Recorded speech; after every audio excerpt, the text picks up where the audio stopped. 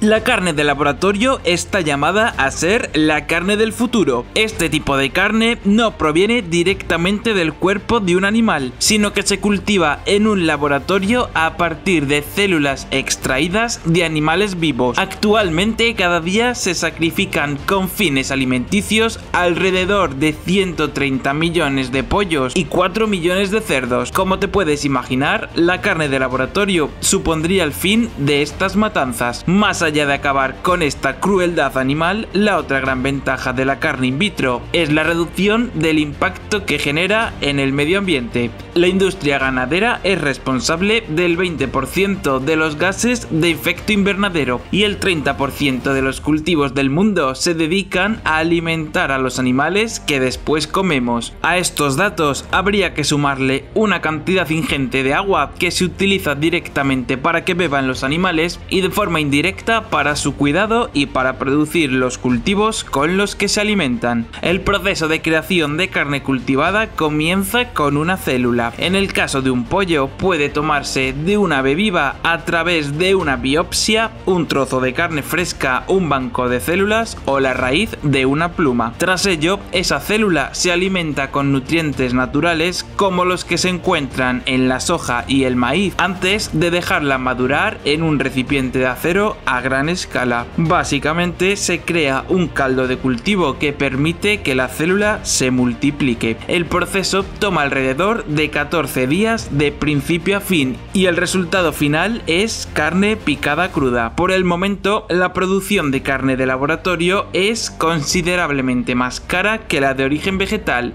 se estima que cada nugget de laboratorio tiene un coste de unos 50 dólares. Eso sí, a medida que se empieza a fabricar carne in vitro de forma masiva, su coste bajará, llegando incluso a ser más barata que la carne de pollo real. No obstante, no todo el mundo está a favor de la carne cultivada in vitro. Algunos todavía se muestran escépticos sobre su valor nutricional y su idoneidad para el consumo humano. Lo cierto es que a finales de 2020 Singapur se convirtió en el primer país del mundo en aprobar la venta en restaurantes de nuggets de pollo cultivados en laboratorio. ¿Y tú estás a favor o en contra de la carne de laboratorio? Déjamelo en los comentarios y aquí tienes otro vídeo con más avances tecnológicos increíbles.